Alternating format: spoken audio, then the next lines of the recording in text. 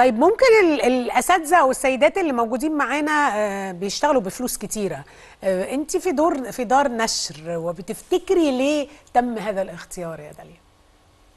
هو الحمد لله إحنا ما بقناش دار نشر. هي نهضة مصر بقى لها 86 سنة وبعدين إحنا غيرنا الاستراتيجي من بدري قوي. وتحولنا من دار نشر. وطبعا دار نشر ما شاء الله بقت كبيرة جدا. هي تعتبر من أكبر دور النشر في العالم العربي على الإطلاق. حجم الإصدارات عندنا كبير قوي. كم حجم ب- الإصدارات عندكم تقريبا؟ إحنا؟ بنخدم أكتر من 16 مليون طالب مم. في مصر. آه، ده بالنسبة للمطبوع بنطبع تقريبا ما يقرب من 100 مليون نسخة في السنة. وبنشتغل مع كل العالم العربي تقريبا. بنألف مناهج في مصر مناهج في الدول العربية مختلفة. بنعمل تحول رقمي تحولنا من نشر تقليدي بيعمل نشر ثقافي وتعليمي وأطفال وده مهم جدا إلى كمان إن إحنا متخصصين في فكرة المحتوى.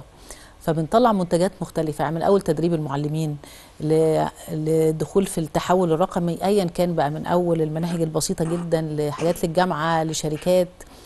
توسعنا أكتر بقينا نعمل رسوم متحركة أفلام كرتون ومسلسلات كرتون توسعنا أكتر وبقينا بنعمل استثمارات مع ال startups يعني الحمد لله أسست شركة EdVentures من تقريبا داخلين على سبع سنين ساعدنا سبعة 76 شركة startup وعملنا استثمارات يعني الحمد لله يمكن بآخر توقيع وقعنا امبارح داخلين على رقم 20 كشركة مستثمرين فيها في مجال التعليم وتكنولوجيا التعليم إزاي دمجتي ما بين فكرة ال ال ال دار النشر حتى لو كان فيها تحول رقمي وتطوير مناهج تعليم وبين فكرة startups إيه العلاقة اللي بينهم؟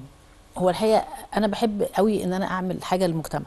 فلما كنت محظوظة إن أنا اشتغلت في العيلة بس بدأت بقى من تحت خالص وما كنتش الحقيقة هشتغل مع العيلة في الأول يعني. بس لما اشتغلت مع والدي في نهضة مصر. نهضة مصر بدأت إمتى؟ من زمان؟ 38 38 اسسها جدي أحمد إبراهيم الله يرحمه.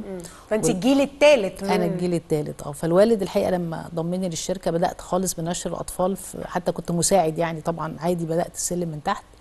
بس كنت حابة قوي اللي بعمله. ومؤمنة جدا إن بناء الإنسان هو رحلة حياة. ففضلت أطور نفسي على قد ما أقدر وأخدت اتنين masters و- وبكمل دراسات لسه راجعة من هارفرد ما بقاليش حاجة الحقيقة. فكل الدراسات دي علشان أعرف إزاي أخدم الناس. فوأنا بدرس ال masters التاني اللي هو executive MBA في جامعة أمريكية بدأت قصة ال mentorship. بقيت أساعد الشباب وأعمل لهم mentoring ده كان 2013 2014 حبيت جدا ال ecosystem ده الشباب مبهرين ما شاء الله. جدا. startups واسأليني عنهم مبهرين. يعني. ومن أول startup عملت لهم mentoring خدوا جايزة في إنجاز. وبعدين أنا رحت للأسرة قلت لهم إيه رايكم إحنا بدل ما إحنا بنعمل كل الحاجات إحنا توسعنا دلوقتي ما شاء الله بينا 14 شركة. فبدل ما إحنا بنعمل كل الحاجات بنفسنا طب ما إحنا ممكن نساعد ال startups وهم نفسهم يغطوا الفجوات الموجودة في عالم التعليم في, العالم العربي كله. وفعلا هتلاقي حضرتك إن إحنا عندنا startups من أول آه، بتقدم يعني كل مثلا ال post graduate كل المتخرجين تعمل لهم reskilling و upskilling بنشتغل في في كل ال technology. عندنا ثلاثة من ال startups بتوعنا واخدين فوربس 30 under 30 فواخدين كل تعليم فني. وكمان لقينا إن إحنا كده بالاستثمار ده غطينا التكنولوجيا التعليم بشكل كبير ومكملين الحمد لله المشوار يعني. بس لقينا فجوة كبيرة قوي في التعليم الفني. فأسسنا شركة تأهيل واحدة برضو من المجموعة بتاعت الشركات متخصصة في التعليم الفني والتدريب المهني.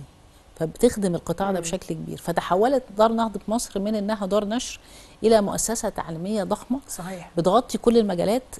آخر حاجة عملناها بقى خالص دخلنا في النيرسريز في الحضانات. في الحضانات كمان. لا يعني هو هي بقت مؤسسة آه، تعليمية نقدر نقول إنها مؤسسة تعليمية ليس فقط دار نشر. بالظبط.